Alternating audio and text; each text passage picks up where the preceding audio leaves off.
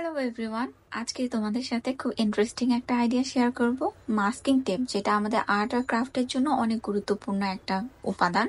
এটা দিয়ে আজকে আমরা ফুল বানাবো। প্রথমে আমি একটা ওয়্যার কেটে নিয়েছি। মাস্কিং টেপ থেকে কিছুটা মাস্কিং টেপ কেটে তারপর ওয়্যারের মাঝখানে এভাবে ইনসার্ট করে এরকম পাতার শেপে কেটে নেব। এরকম করে আমি আরও মোট ছয়টা বানিয়েছি। ছয়টাকে একসাথে করে ওয়্যারটাকে ভালোভাবে পেঁচিয়ে ফেলব। তারপর এই পাতাগুলোকে এরকম করে ছড়িয়ে দিব। এখন এইটার উপর সাদা আর লাল রং মিলিয়ে একটা মিষ্টি কালার বানিয়েছিলাম। সেটা দিয়ে ফুলটাকে রং করব আর রংটা শুকাতে দিয়ে ফুলের মাঝখানের জন্য রেনু বানাবো। হলুদ রঙের কাগজকে এরকম করে ভাঁজ করে, এরকম একটা সাইডে চিকন চিকন করে কেটে এটাকে এভাবে রোল করে ফুলের মাঝখানে গ্লুগানের সাহায্যে লাগিয়ে দিলে আমাদের মাসিক টেপ থেকে ফুল রেডি।